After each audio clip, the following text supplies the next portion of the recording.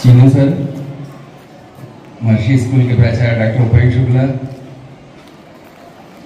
doctor Salomon Ferly हमारे बीच में आज उपस्थित हैं। मेरे रोटरी क्लब के अध्यक्ष Geeta Kalpiwar, Ajay Khoj ji, doctor Rashmi Vajpayee,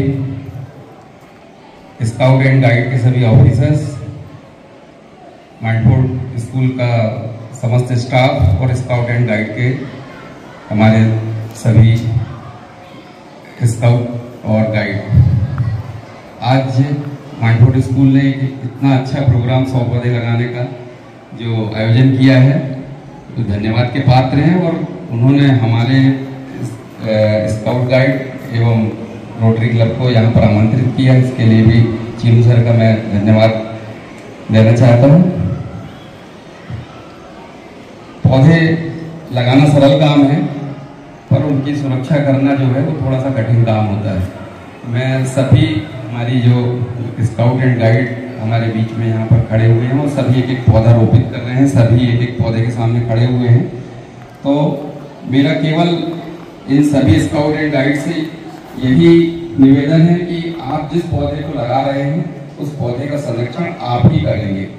मुझे लगता है कि जो भी बच्चे अपने अपने पौधे के सामने खड़े हैं, ये इस स्कूल में दो साल, तीन साल, पाँच साल तक अभी रहेंगे। और यदि दो साल भी यदि ये अच्छे से इस पौधे का संरक्षण कर पाएँगे तो निश्चित रूप से पौधा बड़ा हो जाएगा और एक वृक्ष का रूप ज़रूर ले लेगा। तो आप सभी अपने अपने पौधे को अपने हिसाब से दिन में जब भी आपका जो लॉन्ग डिस्टेंस है शॉर्ट डिस्टेंस है, उसको पानी डालें, उस पौधे को संरक्षित करें। चाहे तो आप अपने गमले में अपना एक लेबल भी लगा लें अपने नाम का कि ये पौधा हमारा है और हमको तो इसको इसकी देख रेख करनी है और हमारे स्कूल का जो मैनपुर स्कूल का स्टाफ है, ये इन बच्चों को सहयोग प्रदान करे इस कार्य के लिए। मैं ऐसी आशा करता हूँ। धन्यवाद।